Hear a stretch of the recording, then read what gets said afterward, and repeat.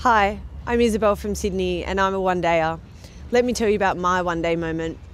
My entire life, I've always wanted to be a florist. It's always been my passion and my dream.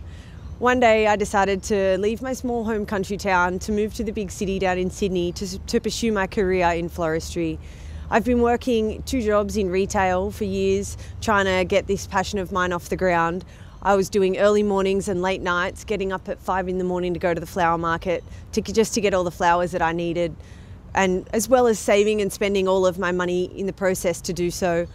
Finally, after two and a half years long work and commitment, I finished my floristry course and have started my career in the floristry industry. I just got a new job. So I've committed to my one day I will. Now I'm asking Evan Wilcox to commit to his. Become an HTC One Dayer today. Commit to your One Day I Will goal by registering now and be in the draw to win some amazing HTC devices or the awesome grand prize of $25,000 to put towards your ultimate One Day I Will experience.